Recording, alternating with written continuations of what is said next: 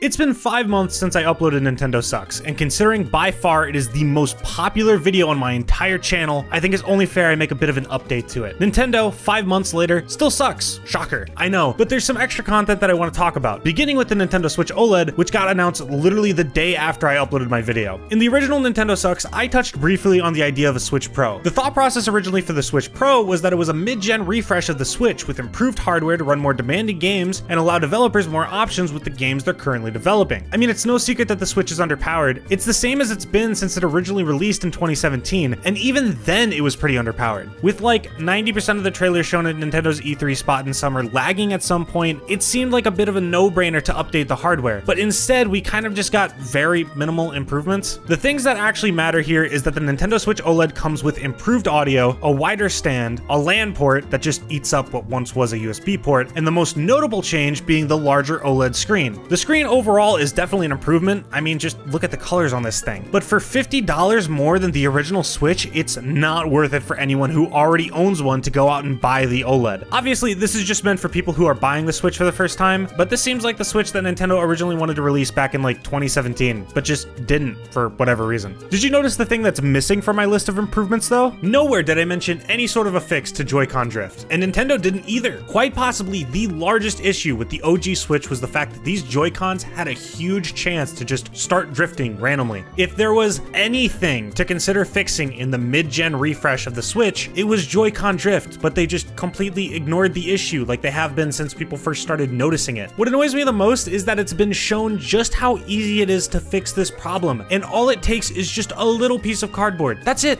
One tiny little piece of cardboard and the issue is gone. The Nintendo Switch Online expansion pack is stupid. Obviously, I like the fact that we're finally getting N64 games that can be playable on the Switch, but the execution leaves a lot to be desired. The biggest issue here is the price of the thing. A whole 30 extra dollars every year just for the opportunity to play N64 games, essentially rent some Animal Crossing DLC, and also getting access to games that were on the Sega Genesis. I've seen some people try to say that the point of the expansion pack is just to eventually expand the service to focus more on the idea of giving you access to a bunch of DLC for games without having to go out and buy those individual DLCs, but like, no.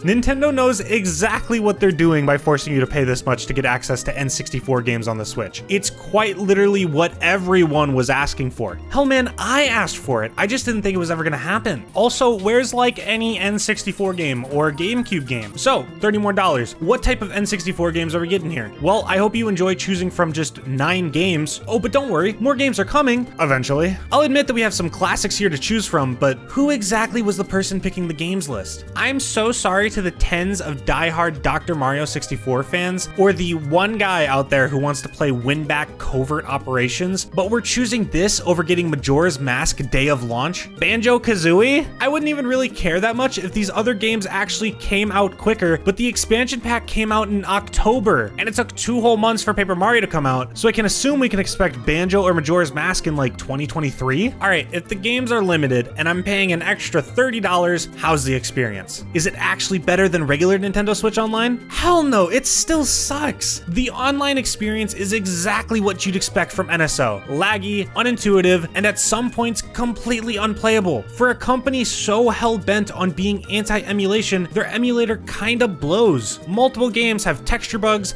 glitches, and there's a small yet noticeable to speedrunners amount of input lag in nearly every game. The standout for me here is that Super Mario 64 suffers from this input lag, but 3D All-Stars on the same system doesn't. They finally added Bluetooth to the Switch, which is something I talked about last time. Back in September, they added the feature in an update for the Switch, and it only took four years. The issue for me here is that because they just added this in an update, this was always possible, and they actively chose not to add it for four years. Nintendo, you made a portable console. You genuinely expected people to carry this shit around in their pockets to listen to Nintendo game soundtracks because you just nuke them off of YouTube instead? Finally, I've gotten comments, video responses, and literal MLA format essays in my DMs talking about my video, and I just want to say that I'm not actually that serious. Obviously, none of these problems are going to make me wither away or melt, but honestly, sometimes I just enjoy being negative and kind of a hater for fun. Nintendo is just really easy to complain about.